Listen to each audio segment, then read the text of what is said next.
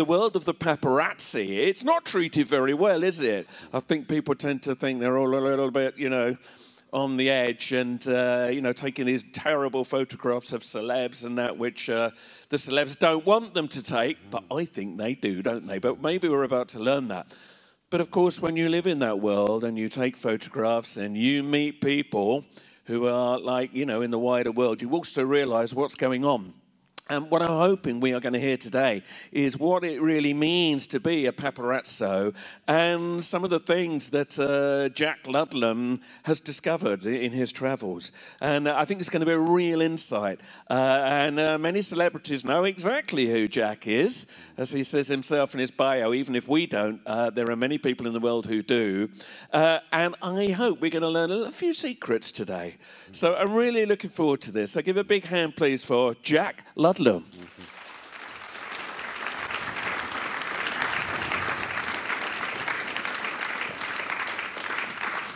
Hello, thank, thank you for uh, um, asking me to talk here. There's uh, a lot of things that, uh, doing this job that I've experienced, and it, it, I, I'm pleased to be able to say them.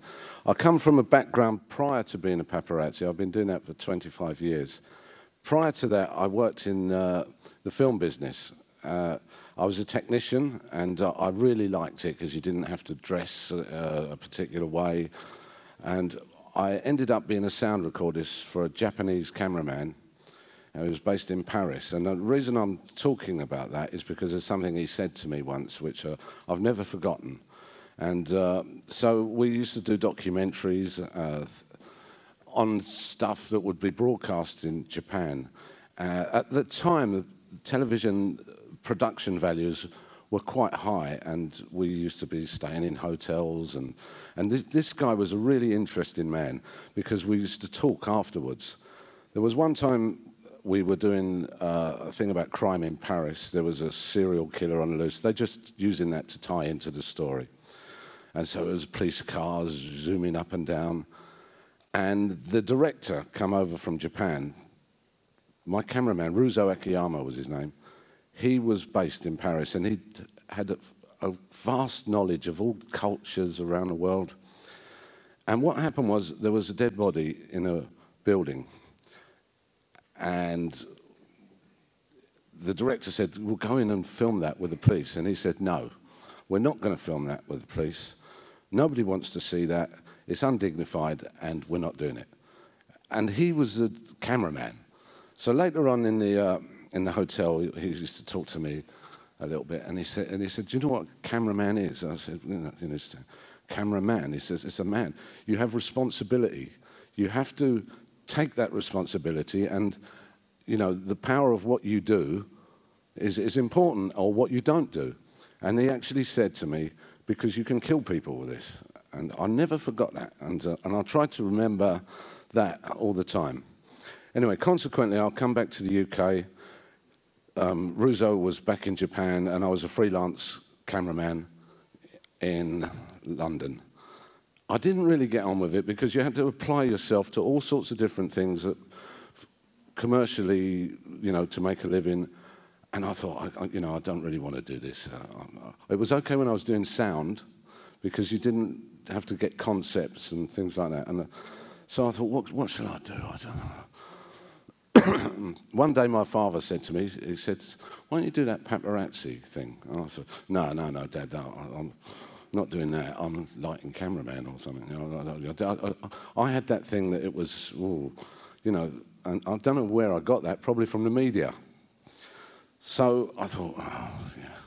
So we had a little camera, I went down the library and I learned how to expose it and things like that because I had to gen up on that. And, and we shoot film in them days, so it wasn't digital.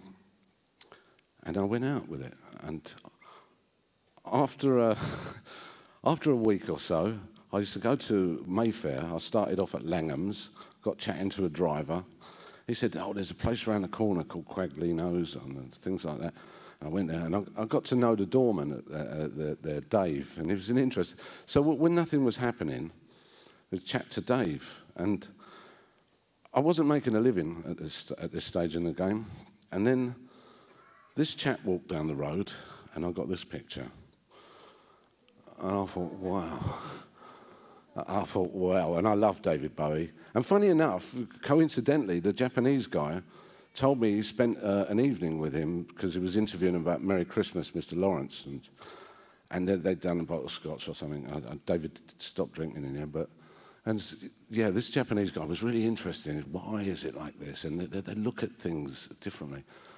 So that was David. He's come along, and I thought, oh, this is great. I, I was there. He is going back out afterwards, and in, it was just me there. And the other, when I was doing this, I was thinking, I don't want anyone else to see me here. So I tried to keep out the way while I was waiting, because if someone else comes along, that's it. It's not exclusive anymore.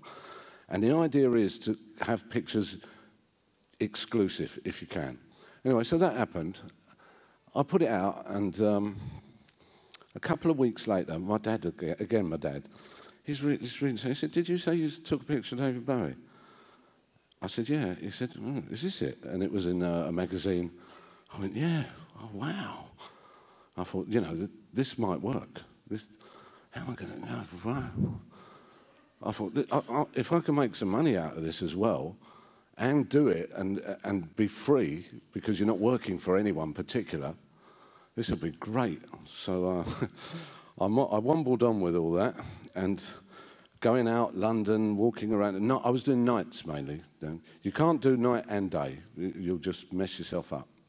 So I was doing. I used to do a lot of nights, which was clubs, restaurants, and uh, I, I met this guy who was, uh, when I first met him, uh, he was an odd chap. Uh, I thought, right, well, I'm a bit odd myself, but um, he, his, his nickname, for his anonymity, I'll call him Glasses, because he used to wear dark glasses even at night. They were optical Ray-Bans.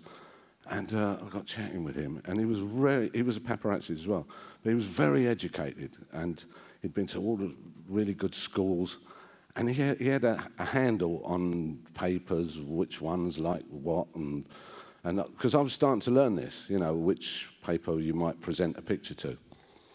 So we'd team up now and again, and when you're working in twos, uh, we, we, would do some pictures. And uh, what the thing that, that was remarkable about him, he was honest, because in this game, some, you team up with someone and you say, and they say, oh, we've got uh, X amount for this, and they could have easily sold it several other places and you wouldn't know. But not with this chap. He was honest. He had this principle. And so consequently, we, we've done okay because if I said, if I was selling it and I said it was X, there's no second question. No, is he ripping me off? And it was the same with him. And that sort of smoothed the path. Uh, a lot because it does go on that people are ripping each other off all the time in this game. Now, I don't know what the next slide is, but we'll see what it is. Ah, oops, gone back. Oh dear, how do I go back? Like one, two, there we are. So, this was another colour negative picture of Mick Jagger, and I, I, I, like it. Actually, there's another guy trying to take a picture. They're being mobbed by flashes and I, I, I thought, oh, I was using a different lens. I thought, so I wumbled around and I wanted to actually take what's happening. And I really liked that. It wasn't commercially uh, made, made, money, but I just like that picture. It's kind of, I, I like it a lot. Now, so this is going on. Let's see what the next slide is. Ah. we get there. There we are. Sidney. Oh, this is uh, um, Beauchamp Place near Knightsbridge, which there was a couple of restaurants which was used by lots of Hollywood people and stuff. But he was just walking down the street, and somehow I'm very bad at recognizing people, to be honest. But I, I, knew him, and he had the sort of 60s coat on, and that, well, he called me Mr. Tibbs. And I just thought, oh, wow. Again, coincidence, the panache, because this guy, you know, he was a very important actor. What I used to do and still do is when I'd take a picture, get it developed, and then I'd sit and look at it at home on the computer and think, what films has he done? And because uh, I can't spell very well, and I have to get the uh, spelling right, copy and paste when you put it out, otherwise nobody will see it. And, and then you look up and you go, oh, wow. And uh, it was a pleasure to sort of discover, you know, things about people like this real artists. And I, I loved it. And uh, I took a lot of time. And so then once I'd done all that, uh, inside the, the file now, you can put uh, the info of who took it, and then that's how they know. Back in these days, though, you had to print it up, and if it was good enough, you go to the paper itself, and you see the picture editor, and so you're standing there, this is your work, and they might like it. And if they do, they make a deal with you. They're always straight up about that. Even if they do a deal on the telephone, it doesn't change. They're pretty good like that. So that was what we used to do, is take it to the picture editor, if it was good enough. You can't keep going in there. They're very busy. and you don't want to be going in there with a load of old rubbish. So, yeah, so that, that's how it sort of worked. Um, it's still film. I was reluctant to go digital, but eventually I had to. So if you wanted to, if you was out at night and you got something, you had to process it that night, and there were processors open uh, in Wardour Street. And you go in there, you process, have a look at the negative, print it up, and think, well, this has got to go out now because other people might have got something similar. And in one case, let's see what the next one is. Hold on a second. Here we go. Oh, this fella.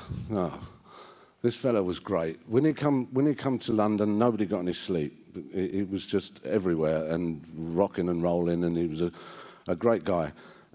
Uh, uh, about three in the morning one time, he come out of a club, and there was just me there, and there was an autograph collector, and and I let the autograph collector get his thing, and, and before I do stuff, I, I, if there's only one.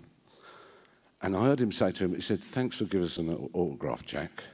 And he went, hey, thanks for asking. And I, I thought, what a geezer, you know. What a geezer. What a chap. So, and I love his films as well. All that helps. So sometimes it's, it's, it's quite a pleasure. Hmm. Here's another chap, but this is a later one. I'm still pre 9 11 timeline here, but you know, he fits in with top artists as far as I'm concerned. That's Charlie Sheen. And I, you've only got a few seconds, and I, I, try and get a picture that's nice if I can, and I, I like that one. What happened was he was, he, he, he was good. He, he, went to the BBC, and he knew there was a load of us outside. So he did. He come out and gave us a frame, and we'd all done that. Bum, bum, bum. It was, it was, it was great. And so that, that was done. I went to the hotel. I knew where he was staying, and I thought I'll get him when he's coming in as well. So I did that. He goes in the hotel. He was doing a conference. And then the manager come out and, uh, and said, look, you know, Charlie wants to come out and have a cigarette and that, but because you're here sort of thing, is, you know, he, wants to relax. I said, tell him I won't take any pictures. I've got good, good lovely ones here already. It's fine. So out he comes. he gave me a cigarette. we said, we're having a chat. And I said, oh, you know, I wasn't expecting an answer because sometimes he doesn't know me. I said, I, I liked what you said about 9 11, Charlie, you know. And, um, you know, I was, I, I was, pleased to be able to say that uh, to him. And uh, he was cool. So that's Charlie. What's the next one? Oopsie daisy. Excuse this. Now, actors, big Hollywood. What I'm going to talk about is not always their fault because this lady here is uh, Jamie Lee Curtis. I saw this on a billboard in Spain a few years ago, and I, I know what Jamie Lee Curtis is about, and it isn't drinking. And I thought, how comes she's advertising white label there? That's she, she really. I'm, I'm sure she wouldn't want that, you know. So I think somehow in the deals that get done and the, the rights and everything, somehow her images ended up there. I thought that was strange, so I, I took that. And um, so, the next slide. Oopsie daisy. Oh, oh dear. No, no, no. Back here. There, Keith. This again a great artist. It's a pleasure to take pictures of Keith. What's happened here is he's just come out of a door in a hotel. This girl's gone, oh wow, Keith, and he gave her a kiss. and hello, love, and and she's like, gobs. So this is the sort of thing I like. It's not really commercially pap stuff, but you know, I like, I like all that. And uh, everyone I know takes a picture of Keith or whatever time, really enjoys it. And, and uh, uh, now, I've got this little clip from him of something he said back in 1988 to do with the music industry, which I'd like to play. What is the most important thing in your life? Living. Anybody else would be an idiot to say otherwise you have a life, you live it. Know? Um, beyond living, uh, to be able to make some good music and to be able to continue do, to do so, huh? it's important to me. How has the rock industry changed during those years you've been in it, or has it changed anywhere? Uh, there's been a lot of changes, uh, but at the same time, things change and they don't change. You know, when I started, it was a very small business, comparatively. And small PA. And no PA. Mm, none at all. Yeah. Until 69, the Rolling Stones never worked with a PA. But um, it's changed in other respects from, I mean, from the point that of from when the Beatles and the Stones started, uh, you basically working with record companies that, and a lot of them still are. They're building. Uh, it's a tax write-off. It's, um, it was something to uh, save some money to make records. It was a small part of their operation. They're making missile guidance systems, uh, heavy electronics EMI, Decca, these big companies, RCA, their main business is somewhere else, and the the record company end of their business is if you make some Bach and some Beethoven records, you could then write off some on tax, cultural tax.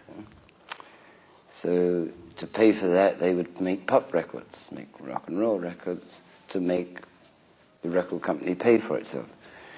Uh, now it's just enormous. The you know, now some of those companies, the record business is the biggest part of their business, and uh, so things change. The ratio of uh, of good stuff and bad stuff doesn't change either. Ninety-seven bad, three good. Keith, lovely. Heavy electronics. Now, the cult of celebrity, in order to make a living, you've, you've got to take pictures which sell in the newspapers and the magazines. Uh, I like doing the great artists and everything, and, but they're not always. Someone might say to me, "Oh, the papers like her," or, and I, and I, have I've never answered that question as to why, particularly with certain things. And there is a place for pictures of celebrities, perhaps in magazines and a, a little bit, but it's been blown out heavily, way off of, of, of its rightful place. I've done a magazine interview once, and I said, you know, sometimes I think it's a bit like a smoke screen or something, a bit of a, a diversion. Um, and uh, anyway, we go on to the next picture. I got a call to go to a restaurant in Mayfair, and said Robbie Williams was in there. There was a few other photographers there, and uh, I thought, right, okay, so we wait. Out he comes, and I got this, which was. Uh, not a tricky picture. They did that right in front of me. The other guys had previously done this couple and then were doing some other people that come out, so they missed this. And uh, I said to my man glasses, I said, Do you know what? I think we've got an exclusive here. Because could, you can't see it, it's still film. So we better get down and have a look because they're going to put their stuff out straight away. So the time, when it's not exclusive, it's time You've got to act straight away. So we got it pr- printed out, and I said, "Well, yes, I've got, I've got that." So we went to Wapping. I'd done a deal with the newspaper, um, but I didn't really expect it to. But this is where it ended up. Front page. which, as a pap with competition and everything, is great. But I do remember thinking back, I said, well, this is, front, this is, why is it on the front page? You know. But, you know, it was good for business, and uh, I, I thought about it much more later on as I went on. Four years later, in October 2002, Robbie signed a deal with EMI, which is the biggest recording deal in British history, for 80 million, making him one of the highest paid singers in the world. It's not bad money. Now, again, we're still on negative here. Another thing that was happening at the time was the Spice Girls. And if you took a picture there, you know, you'd get it in the magazines, uh, they liked it. So about two o'clock in the morning, we're wambling along, me and Glasses. Behind Regent Street, there was a club, and along comes walking this young lady. It was Victoria Beckham. We started taking pictures, but she said, no, no, hang on. And then she's done that, which was great for us because this sells. That's Victoria Beckham. Later on, she was a little bit less obliging and she got very famous. But here's another one. Oh, there's another one there. That was at Elton John's birthday party. And that, I was, there was 10 or 12 guys there. Luckily, one guy there, his camera jammed. The other one ran out of film and I, bang. And so that went everywhere. Um, you know. Here's another, another Spice Girl. This is a later picture, but it's Geri. She's reading now. I, I thought to myself, oh, the kids might like that, you know, reading, and but it didn't really sell very well. When, when I started sort of thinking about all this, I've come across this clip, which is uh, a lot. Let me show it to you, and I'll, and I'll talk about it afterwards.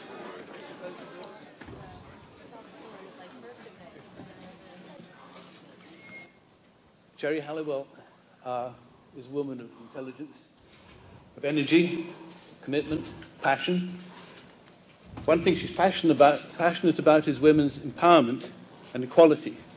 So she's a natural fit with our three organizations, with the United Nations Population Fund, MSI, and Population Concern. Um, and we're delighted to welcome her as UNFPA's Goodwill Ambassador in the UK. Geri Halliwell. Good morning, everybody. Thank you very much for coming. I'm very, very proud to be here this morning. So, fire away and ask me about being Goodwill Ambassador for United Nations Population Fund. So, fire ahead. I think the fact you're no longer part of the group limits your ability to propagate the message of the population fund. Well, at the end of the day, you know, that's all relative, it really is. But I think, at the end of the day, I am famous, okay? Lots of people know who I am. And I am damn well going to use my fame positively.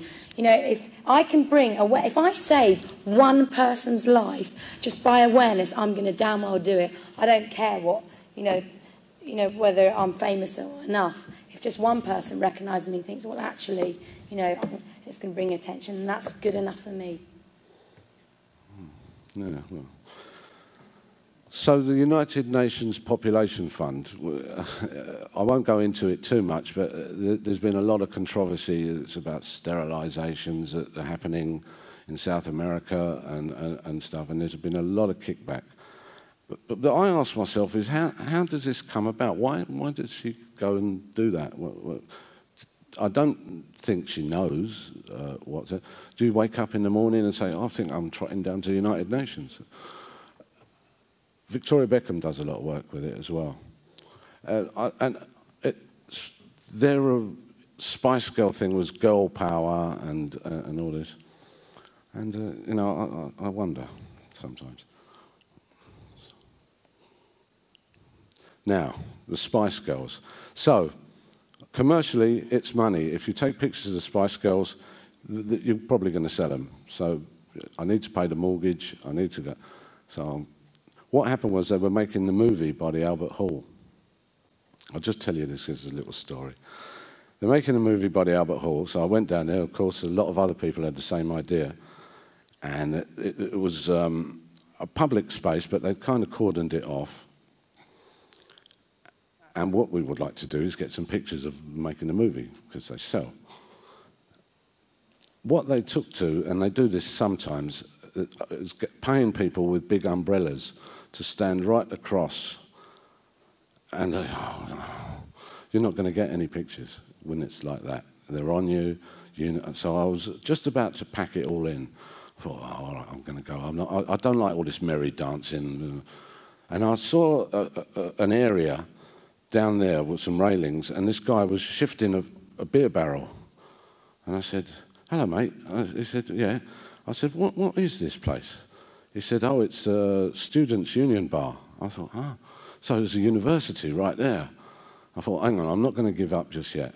So I put the camera away, walked through the university, it was an arch, and found my way to the students' union. and so I said to the guy at the students' union, I said, listen, I'm having a lot of trouble trying to take some pictures out there. Is there a chance I could use a window or something? And, and, and, he, and he said, no, no problem, mate. You can have the roof. He said, now, I thought, great. So I come up on the roof. I'm still shooting film here. Up on the roof, bang. The game's changed a bit now. I'm getting something. Not great, but something. And again, here's Victoria Beckham. You know, this is stuff they didn't really, the film company probably doesn't really want to do. So I'm up there shooting away. It's like fishing about. I thought, well, you know, this is great. And of course, I got rumbled. Uh, behind me appeared a security guard who worked for the building and some heavy American producer types. And right, okay, you are, okay, well, if, if you rumbled, you, you know, I'm going to leave the building. But it, we want the film. I said, that, that, that's not going to happen, right? We want the film or we're calling the police, and it was very, very heavy. I said, well, you know, I'm not giving it to you, right? Um, and I knew the law. You didn't have to. So uh, they called the police, uh, and a nice Bobby come along. And he knew the law as well, so, which is a good thing. Um, and so uh, they said, we should get the film off him. And uh, so I said, listen, I, I, I, want to talk to you, but not in front of these guys. So I said to the policeman, I said, look, I wasn't trespassing. I, I was actually allowed in there, but I'm not going to give them the guy's name because he's going to get in trouble, you know. And he said, uh, he said, don't worry. So he goes back. He said, we can't take the film off him. It, it's his property. You know, that's the law. And then the coppers come over to it. So they, they had to go. The copper said, did you get any good pictures? I said, yeah, I did. so, you know, I mean, my experience with police bobbies and that, it's been, it's been fine. It's been really good, actually. They, they helped me out with something uh, a little bit later on I'm going to talk about. So this is a picture.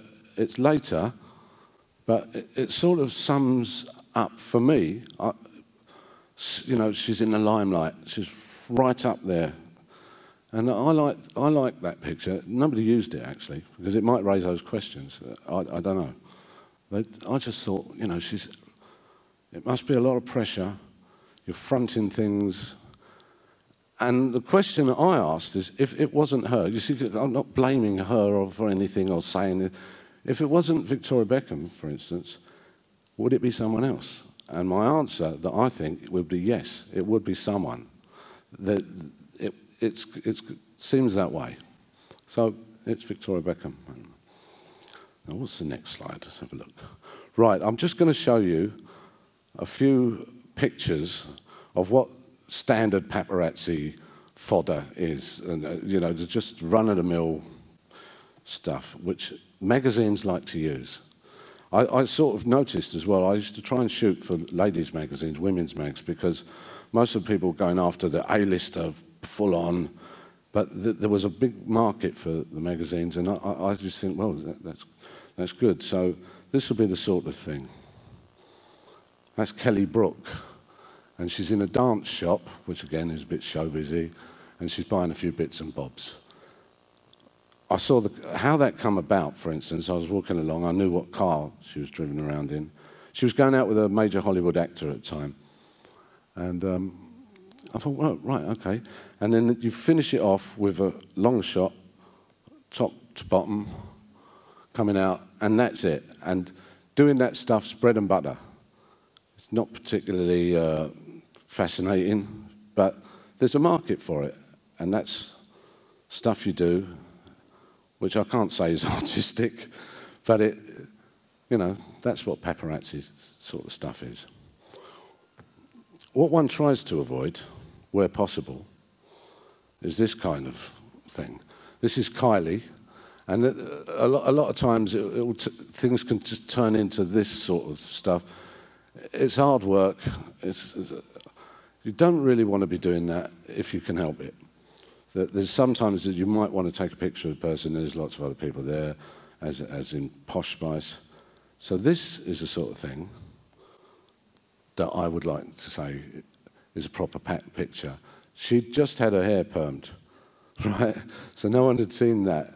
And that was exclusive. And she was actually very nice. The driver sort of went to get in the way. He said, no, no, it's all right, let him. About, I don't know, half past 12 at night in the West End. She'd been in a club. And she was, uh, she was sweet. So that's, that's a pat picture which sold. And of course, with Kylie, there's Australia as well.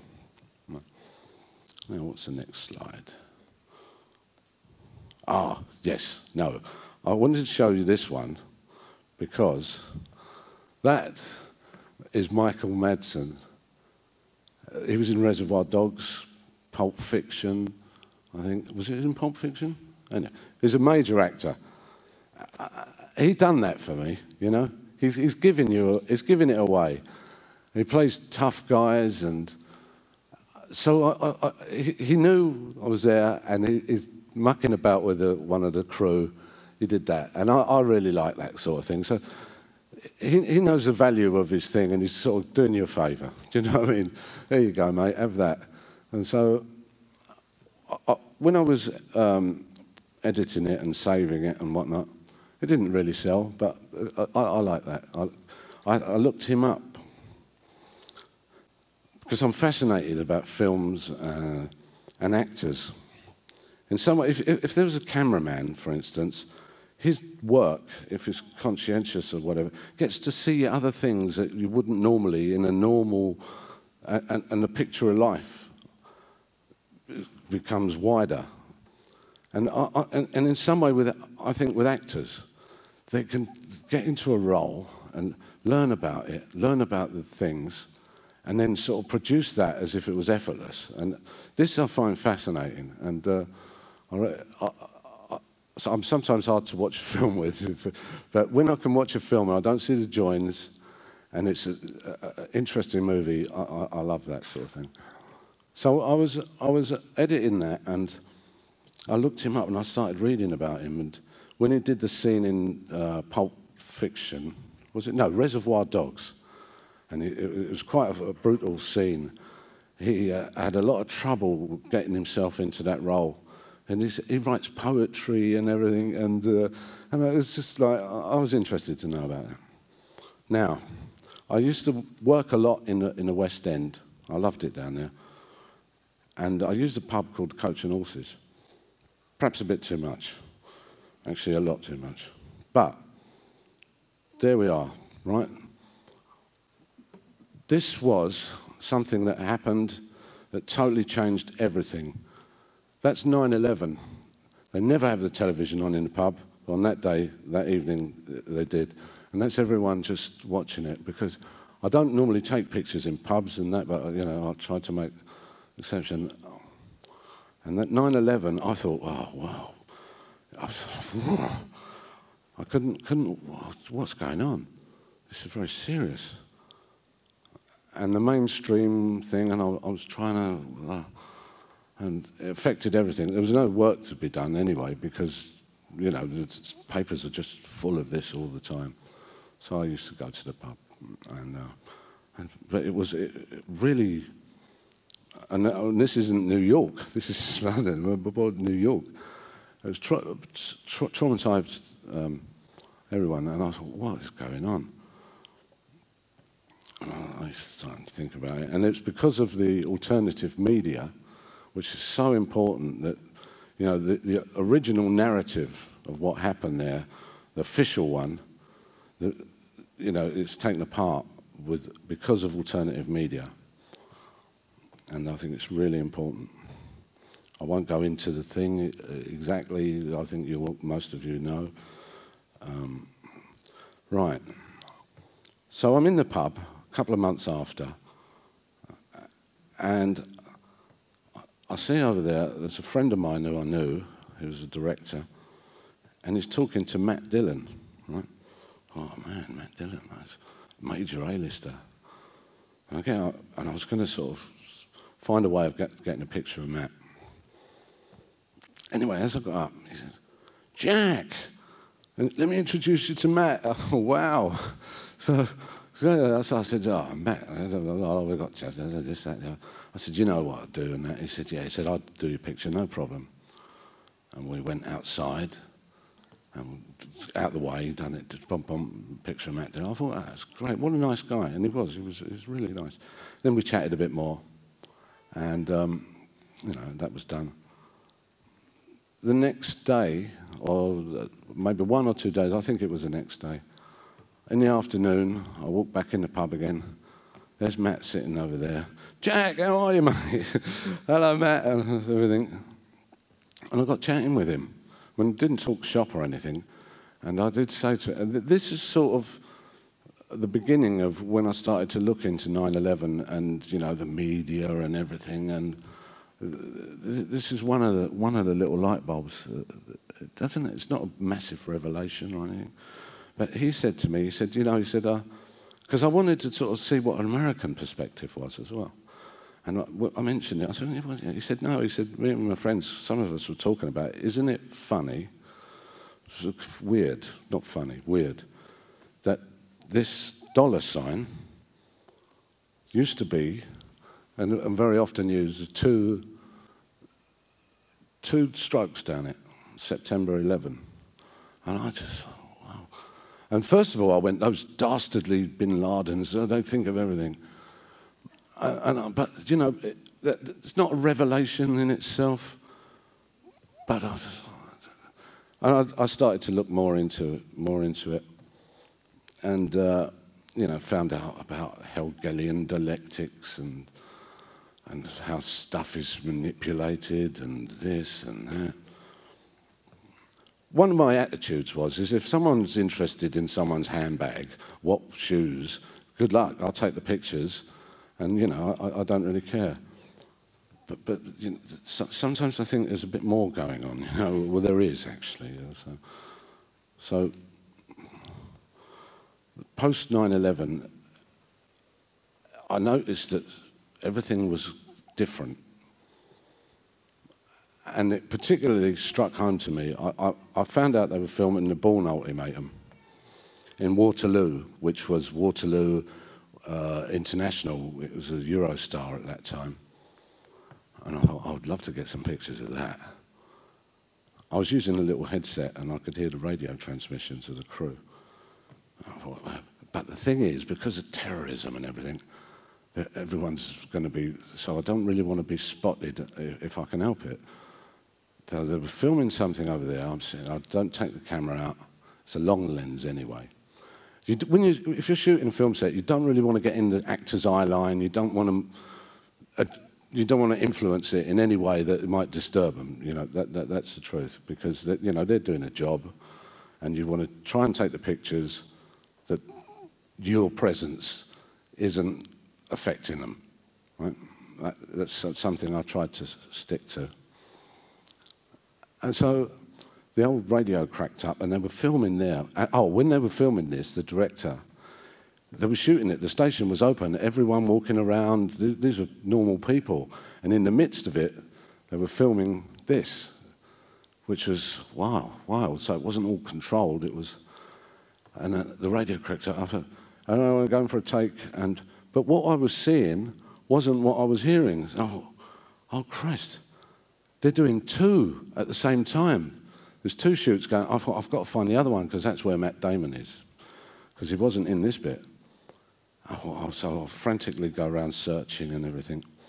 And there's, there it is. It was on a platform. Now, I can't go onto the platform, obviously, because it's crewed up. You know, you're being shot and everything. I know, I'll go to the next platform and see if I can see something there, which I did. Uh, as I went through, I, I think the guy, he saw my headphone, he thought I was part of the crew, the ticket guy. oh, mate, yeah. So I've- gone through and I'm waiting, and, and then it goes. And I, I like this shot. There he comes, down there, and boom, boom, boom. So I, I, I've had to take the camera out, obviously, now, and I've been seen. And there's another one there. There he goes. So I've got really what I come for. But I was approached then by, th- th- this is the sort of thing that was started to happen more and more. I was approached by one of the crew. He said, if you take that camera out again, we're going to have you arrested and removed under Anti-Terrorism Act. Right, I thought, and it was a bit argy-bargy, actually. I said, I said, I said you what? He said, we'll have you removed under anti-terrorism laws. I, said, no, I, won't say exactly what I said because I swore. But um, anyway, the policeman was about, and I said, is that right? He said, yeah, it is. You, can't take pictures in stations now because there might be a case in it or something, you know. I thought, well, I thought, well, I've got what I got. But it really struck home uh, how things were changing now. And I discovered there were so many laws that crept in under the, that people didn't even know about, but which can be used post 9 11. Hundreds. Uh, well, I just thought that was a bit strong. It wasn't the first time this happened as well. There was another incident. I, I used to, I'll tell you, I used to have a bike, and I'd sometimes pop it there and on the pavement, and I saw what I thought were two traffic wardens coming on, and I, I was just about to, oh, oh, they weren't, they were the plastic policemen or whatever you call them. I said, oh, sorry, I thought you were traffic wardens.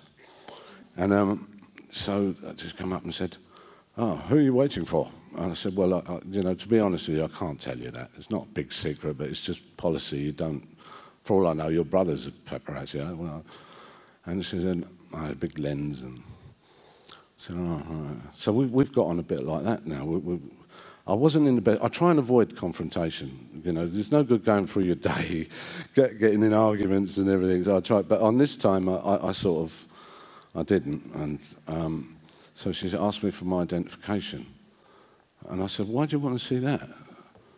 And she said, "Well, you know, terrorism uh, area."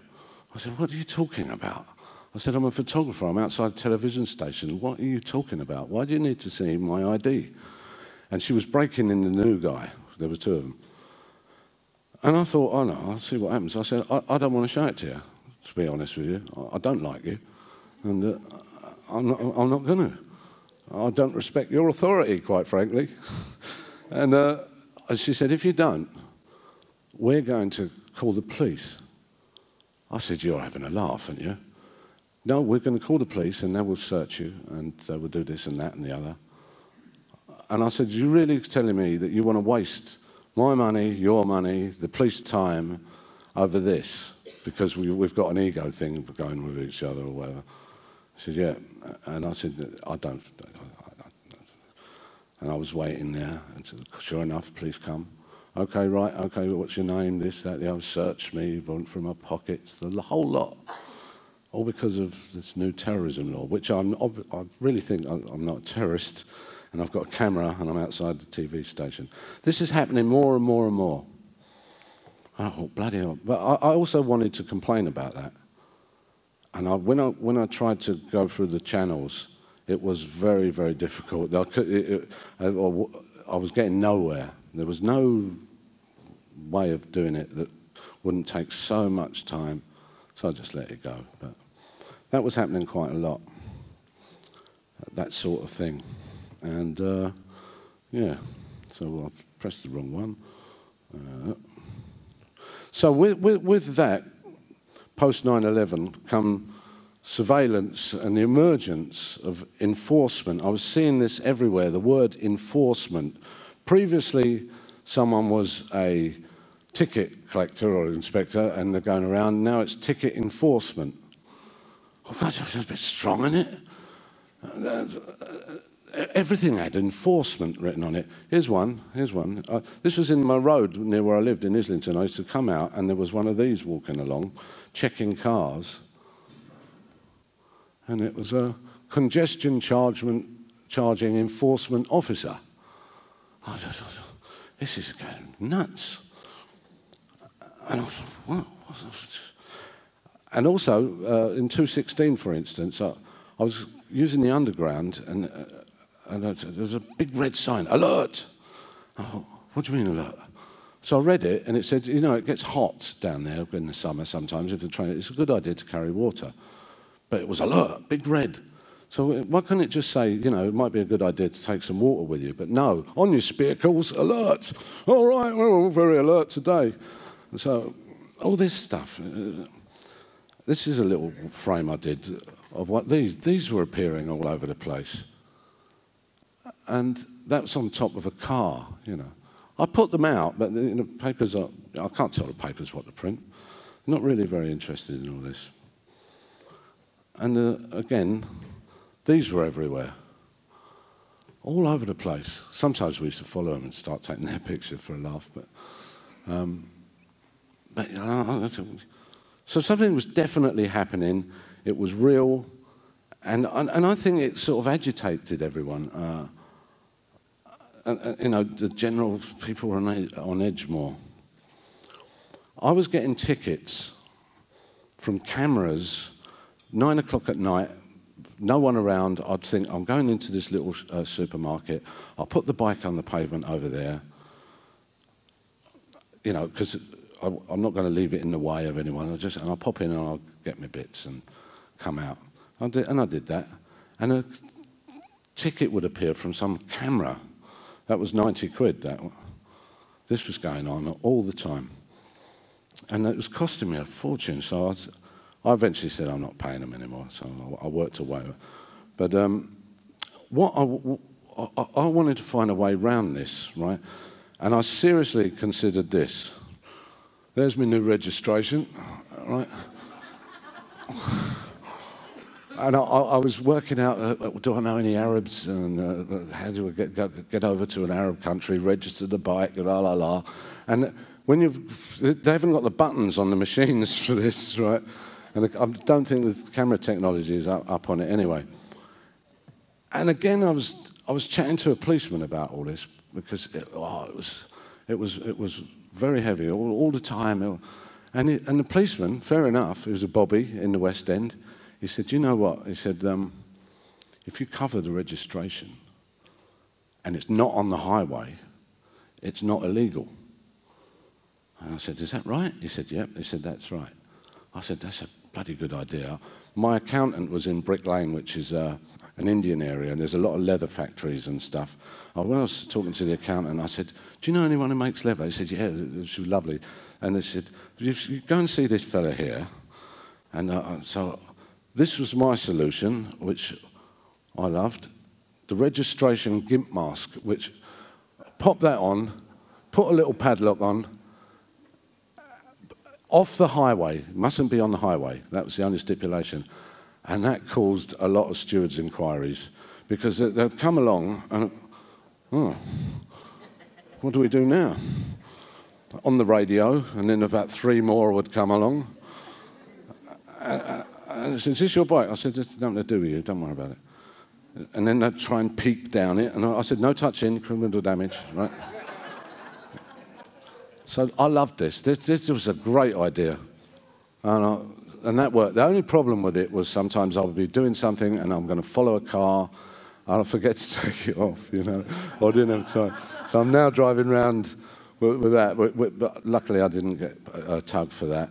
I mean, but I, am a bit dizzy sometimes. I, I, went two blocks. I got up one day and I went two blocks and I realised I hadn't got a helmet on, you know.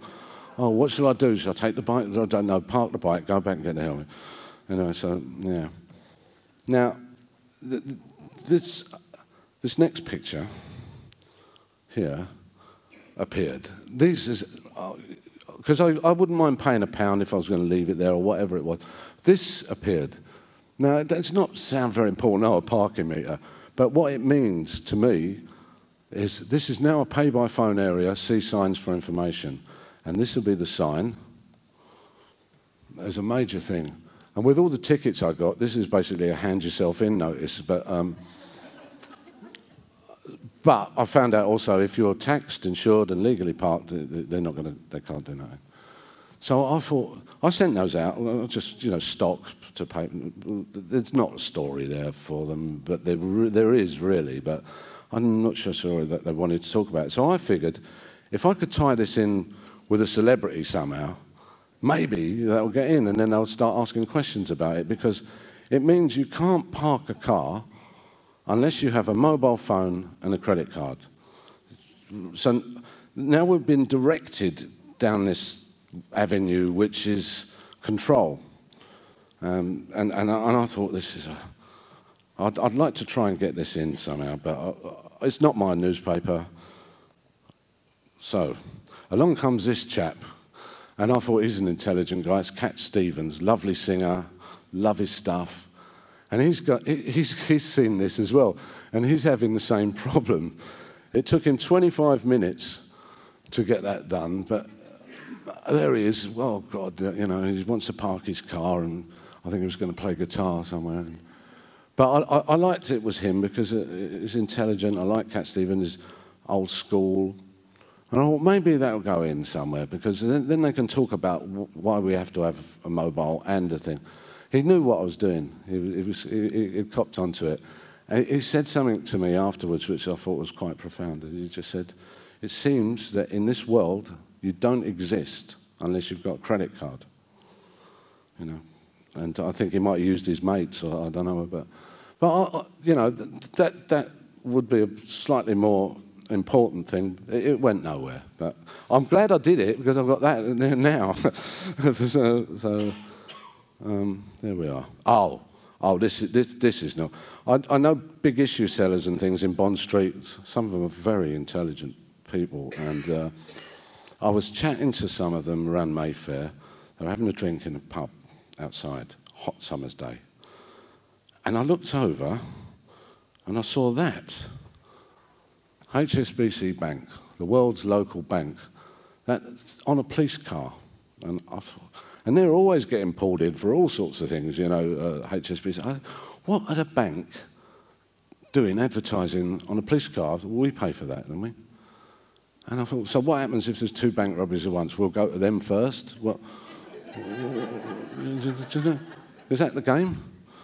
I could. I, I, and, and, and then the big issue guy said, I'm with the HSBC. I said, go on then, let, let's, let's jazz this up a bit. And so we've done that. Like.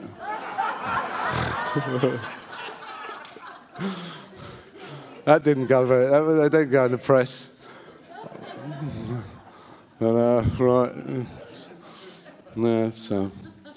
I, I, actually I was annoyed one day. I think I sent one to HSB, asked them if they want to buy one for the office. And, and, um, so going around doing this, you, you, you, do, you get to see lots of different things. And here's an example, you know, on Cavendish Square, there's a helicopter landing. Oh, well, I'll do this then, you know. Fortunately, no one was actually, uh, it wasn't an emergency or something, it was a false alarm. Now, he didn't get a ticket. So I gave him one of mine. I had loads. Yeah. That's just a little silly story thing.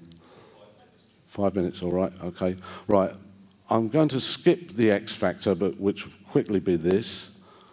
I was thinking I was going to run, uh, finish early.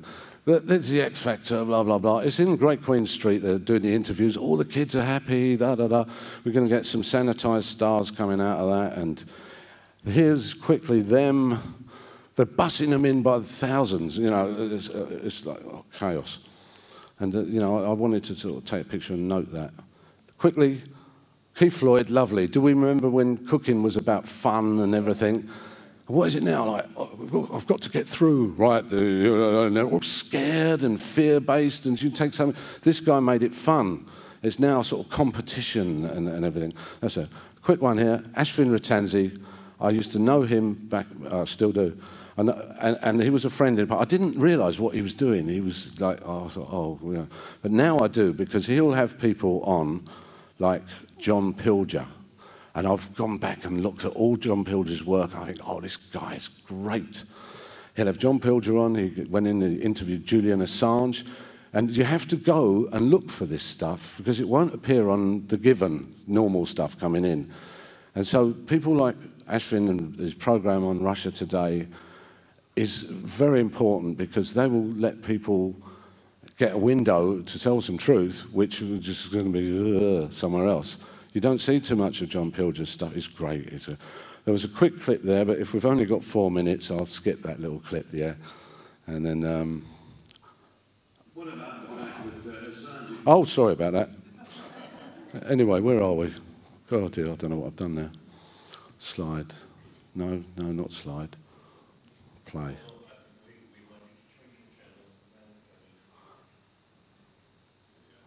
Ah.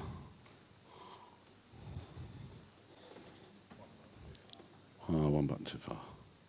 Thank you. Thank God for good technicians, eh? Oh, thank you. Now, a great artist, he, he's actually been on Russia Today, uh, uh, interviewed by, this is Jimmy Cliff. And I, I, I, saw him, I had to follow him on the bike because I wanted to get him, in, but I was going to miss him. I said, hey, Jimmy's, put your hands in here, sir, and you'll get no harm now. And it's lovely, done this, and uh, this is a real artist. Uh, Jimmy Cliff, he made a beautiful song about Vietnam uh, back in the day.